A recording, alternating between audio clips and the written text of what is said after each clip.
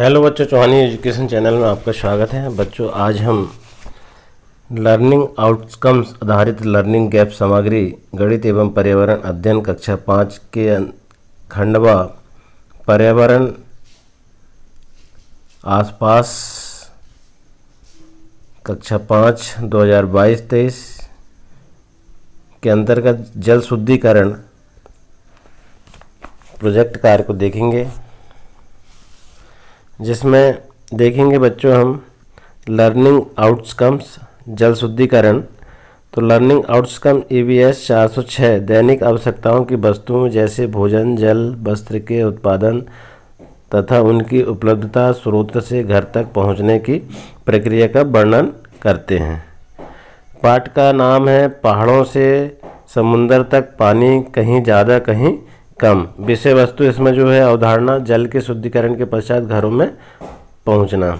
अवधारणा का परिचय। इसके पूर्व बच्चों, अगर आपके द्वारा चैनल को सब्सक्राइब नहीं किया गया है तो चैनल को सब्सक्राइब कर लें और बेल आइकन को प्रेस कर लें, जिससे वीडियो की नोटिफिकेशन आपको प्राप्त होती रहेगी। एवं वीडियो को लाइक एवं शेयर ज़रूर करें।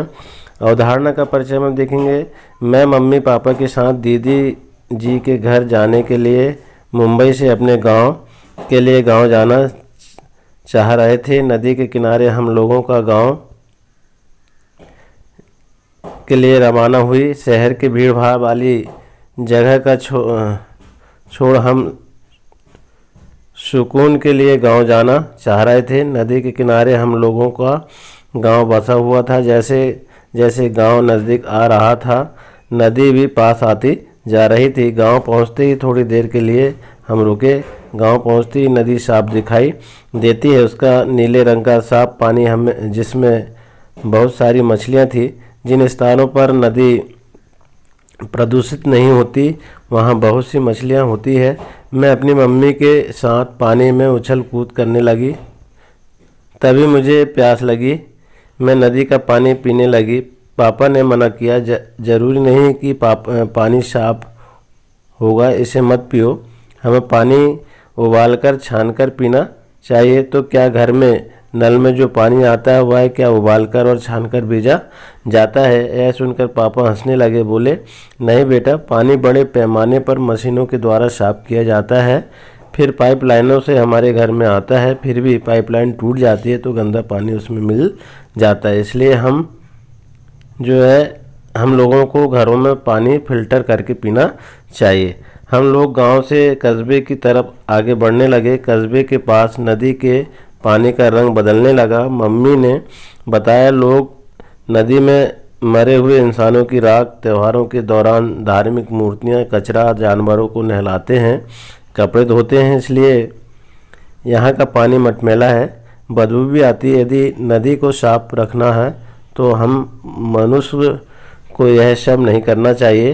आगे जाने पर हम लोगों को नदी का पानी और भी गंदा और प्रदूषित लगा। पापा ने बताया, आगे एक कारखाना है जहाँ का कचरा और सीवेज सीधे नदी में मिलाया जाता है। यदि हम नदी को प्रदूषित होने से बचाना चाहते हैं तो नदी में जाने से पहले कारखानों के कचरों से रसायनों को हटाने के लिए उपचार संयंत्र स्थापित किए जाने चाहिए, तभी हम नदी तालाबों के पानी को प्रदूषित होने से बचा सकते हैं। हमारे मुंबई में जो समुद्र है उसका पानी भी बहुत खारा है, इसलिए उसके पानी को हम नहीं पी सकते।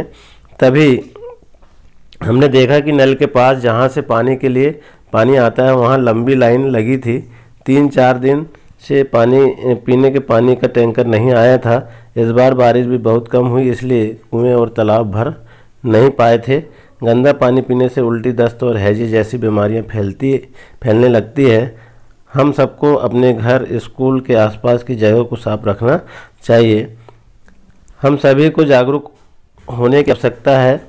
गाँव में सभी को अपने घरों की टंकियाँ, मटके को साफ़ सुथरा रखना चाहिए। हम सबको पेड़ पौधे लगाने चाहिए, तभी हम सुखी व स्वस्थ रह सक, पाएँगे।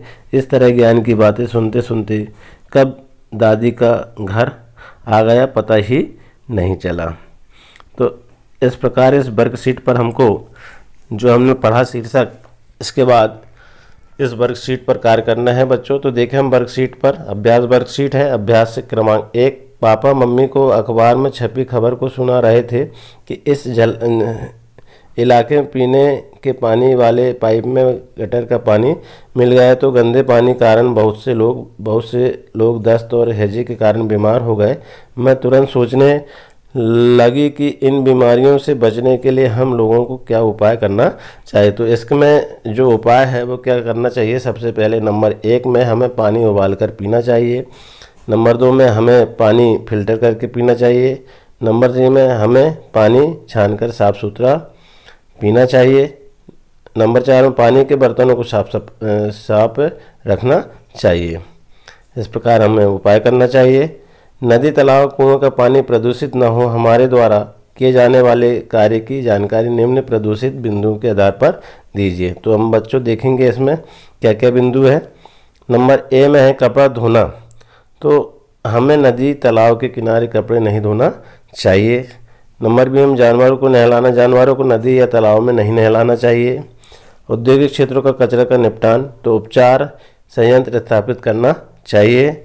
मृत शरीर को राख डालना, हमें मृत शरीर की राख नदी में नहीं बहाना चाहिए। आपके घर में और स्कूल में पीने का पानी कैसे साफ़ होता है? तो हमारे घर और स्कूल में पीने का पानी फ़िल्टर द्वारा साफ़ होता है। इस प्रकार से बच्चों, हम इसमें हल कर देंगे। अभ्यास नंबर दो में देखेंगे हम। चित्र में दिए गए पानी के स्रोतों के नाम लिखिए। तो यहाँ पर कुआँ देखिए, आप कुआँ बना हुआ है। ये बादल है, बादल से बादल दिखाई दे रहा है। यहाँ टंकी है इसमें, पानी के स्रोत है ये। यहाँ नदी दिख रही है आपके बच्चों, और यहाँ तालाब और यहाँ नल। इस प्रकार पानी के स्रोत है। को हम लिख देंगे, अब अभ्यास तीन में देखेंगे बच्चों हम। आपके घर में यदि कभी गंदा मतमेला पानी आ जाए तो आप उस पानी को पीने योग्य बनाने के लिए जिन पदार्थों का उपयोग करेंगे उन्हें चित्र में लिखिए। तो बच्चों, हमको जब गंदा पानी आ जाएगा तो हम उसका साफ़ सुथरा कैसे करेंगे? तो देखिए, उसमें कंकड़, बजरी, रेत, कोयला, क्लोरीन, पत्थर और चूना। यहाँ एक मंडकी है और उसके नीचे उसको कैसे शुद्ध पानी किया जा रहा है? कंकड़, बजरी, रेत, कोयला, क्लोरीन, पत्थर।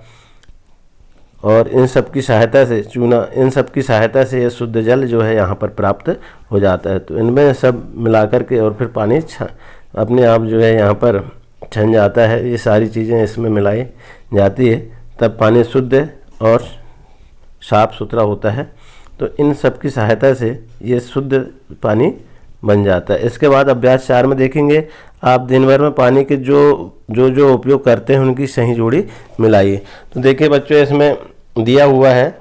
जो जो हम पानी का उपयोग दिन भर में करते हैं, नहाला, नहाने का उपयोग करते हैं, बर्तन और कपड़े धोने का उपयोग करते हैं, प्याज बुझाने के लिए पानी पीते हैं, सिंचाई करना, आग बुझाना, सफ़ाई करना, खाना खाना। जैसे कि हम चित्र में देख रहे हैं, ये बच्चा पानी पी रहा है तो यहाँ पानी पीने वाला जो है, प्याज बुझाना, इसमें चिन्ह लग जाएगा। इसके बाद देखेंगे, यहाँ जो बच्ची है, सफ़ाई कर रही है। तो यहाँ क्या करने साफ़ सफ़ाई के लिए यहाँ पर चिन्ह निशान लगा देंगे। इसके बाद यहाँ पर खाना बनाने के लिए जो उपयोग हो रहा है यहाँ पर तो इस पर निशान लग जाएगा। सिंचाई करने के लिए देखिए आप, सिंचाई में भी उपयोग हो रहा है और शप जिस सिंचाई देखिए आप, बर्तनों को साफ़ करने के लिए यहाँ पर सब जो है अलग अलग बिंदुओं पर चिन्ह लगाना है, आपको निशान लगाना है। तो क्या क्या कहाँ उपयोग हो रहा है। तो इस प्रकार से आप इस वर्कशीट को तैयार कर लेंगे। इसके बाद बच्चे देखेंगे हम अभ्यास से पाँच। तो ज, यह जल संरक्षण का चित्र है। इस चित्र पर दो स्लोगन लिखिए। हमको नारा लिखना है स्लोगन। तो ये किसका चित्र है? जल संरक्षण जल को बचाने के लिए उसका चित्र बना हुआ है। इस पर स्लोगन लिखना है तो स्लोगन लिख देंगे। जल है तो कल है। नंबर दो पानी बचाओ जीवन बचाओ। इस प्रकार से स्लोगन जो है तैयार हो जाएगा। प्रोजेक्ट कार्य देखेंगे बच्चों हम। नंबर एक, नीचे दिए गए चित्र को ध्यानपूर्वक देखिए। चित्र में आपको जो भी क्रिया होती दिखाई दे रही है, उस पर पाँच वाक्य लिखना। अब चित्र को ध्यान से देखेंगे। यहाँ पर एक मकान बना हुआ है, बादल, किस प्रकार से बादल का चित्र है, पानी गिर रहा है। ये सारी क्रियाएँ इस पर हो रही है। बादल की गड़गड़ाहट भी दिखाई दे रही है, चमक के, साथ भी बादल दिखाई दे रहा है। तो इसमें हम लिख देंगे बच्चों देखिए नंबर एक इस क्षेत्र में हमें एक घर दिखाई दे रहा है। देखिए आप घर कैसे ये घर दिखाई दे रहा है। बादल भी दिखाई दे रहा है बरसात हो रही है ये भी दिखाई दे रहा है। नंबर चार में बिजली की चमक हो रही है ये भी दिखाई दे रहा है। बादलों की गरज चमक दिखाई दे रही है पानी की बूंद बहुत सुंदर दिखाई दे रही है। इस क्षेत्र में सारी चीज़ें जो हमने लिखा है इसमें सारी चीज़ें दिखाई दे रही है। आप ध्यानपूर्वक इसको देखेंगे। तो इस प्रकार इसे अभ्यास को हम हल कर लेंगे। इसके बाद देखेंगे तालिका नंबर दो। तो तालिका में दिए गए बिंदुओं के अनुसार उपयोग किए गए पानी की मात्रा लिखें हम देखेंगे दिनों के नाम, पीने में कितना उपयोग किया गया, नहाने में कितना उपयोग किया गया पानी का, कपड़े धोने में कितना उपयोग किया गया। अब सोमवार के दिन, सोमवार, मंगल, बुधवार, गुरुवार, शुक्रवार और शनिवार। तो सोमवार को पीने के लिए चार लीटर, नहाने के लिए बाईस लीटर और कपड़े धोने के लिए पचास लीटर। मंगलवार को पीने के लिए पाँच लीटर नहाने के लिए बीस लीटर और कपड़े धोने के लिए चालीस लीटर। बुधवार को देखेंगे तो चार लीटर पीने के लिए नहाने के लिए पंद्रह लीटर और कपड़े धोने के लिए साठ लीटर। गुरुवार को देखेंगे तीस पीने के लिए ती, तीन लीटर नहाने के लिए बीस लीटर कपड़े धोने के लिए पचास लीटर। शुक्रवार को देखेंगे छः लीटर पीने के लिए नहाने के लिए इक्कीस लीटर, कपड़े धोने के लिए 40 लीटर, शनिवार को देखेंगे तो पीने के लिए पाँच लीटर, नहाने के लिए 25 लीटर और कपड़े धोने के लिए 50 लीटर। इस प्रकार से पानी का पूरे सप्ताह भर में उपयोग किया गया तो आप भी ऐसे तालिका बना करके अपना विवरण लिख सकते हैं। स्व मूल्यांकन में देखेंगे बच्चों हम। तो स्व मूल्यांकन में क्या है? नंबर एक में दी गई वर्ग पहली में पानी के स्रोतों के नाम लिखिए। ये वर्ग पहली दी गई है, नदी सागर, कुआँ, झील सब इसमें लिखा हुआ है। और इस वर्ग पहली में हमको जो लिखा है, जैसे नदी, सागर, कुआँ, झील, बारिश, झरना, नाला, स्रोता, सोता, तालाब। ये सारी चीज़ में हमने इसमें जो है, वर्ग पहली में ढूंढ करके यहाँ पर लिख दिया है और उसमें गोला निशान लगा दिया है। तो इसके बाद देखेंगे हम दूसरा नंबर पर, जल पर कोई पहली बनाई है जो अपने साथियों से पूछे, जैसे यहाँ पर पहली बनी है, पानी से निकला पेड़, एक पात नहीं पर डाल अनेक, इस पेड़ की ठंडी छाया बैठ के नीचे उसको बत, पाया, बताओ क्या? तो फवारा है ये, पानी में निकल के पेड़, एक पात नदी पर डाल अनेक, इस पेड़ की ठंडी छाया बैठ के नीचे उसको पाया, बताओ है क्या? तो फवारा है तो इस प्रकार यह जो जल शुद्धिकरण के अंतर्गत हमने इस लाउट आउटकम लर्निंग आउटकम के आधारित इस